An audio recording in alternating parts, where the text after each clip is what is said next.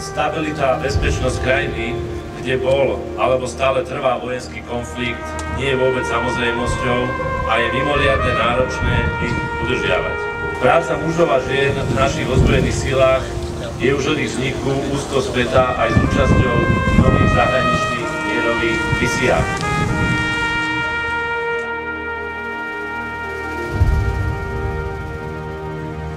Odviedli ste kus poctivej práce, ktorú si cením ja, ale i všetci tí, ktorí sme sa tu dnes stretli.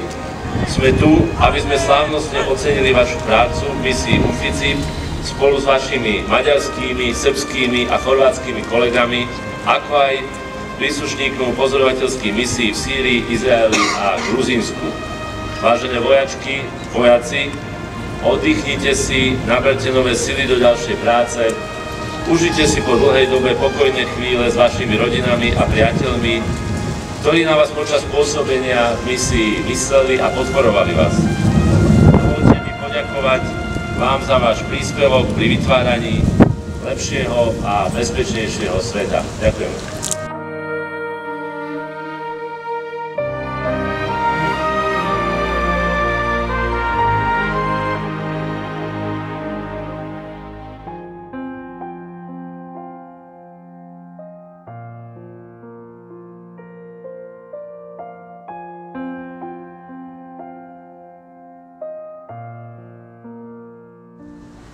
Dámy a páni, využívam túto možnosť, aby som vyjadril úctu a uznanie všetkým tým, ktorí tu teraz stoja pred vami s modrými baretami mierotvorcov na hrdo stýčených hlavách.